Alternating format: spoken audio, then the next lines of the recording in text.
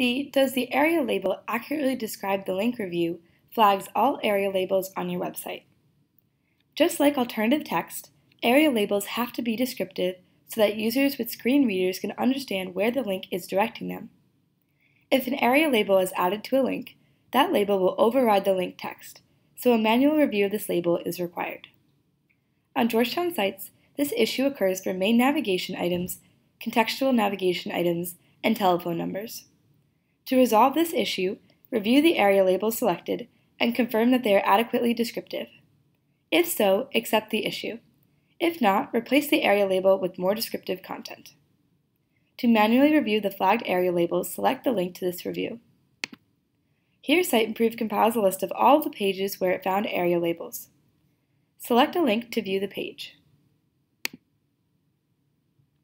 Siteimprove will highlight the link that has an aria label.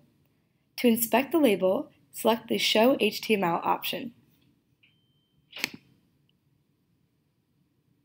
Here, you will find code highlighted where the aria labels are.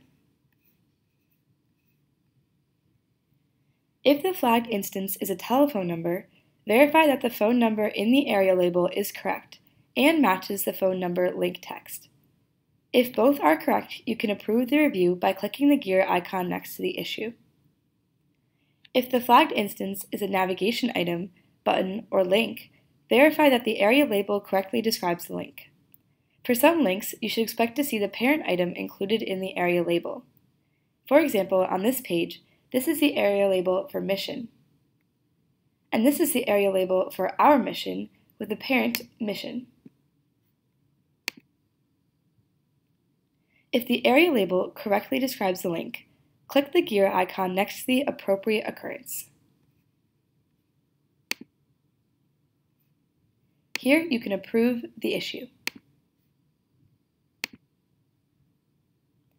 For Georgetown University domains, if there is an aria label on a navigation item that is incorrect, email webaccessibility at georgetown.edu to fix the issue. If there is a button or a link with an incorrect aria label, you can fix them on your own website in the website editor.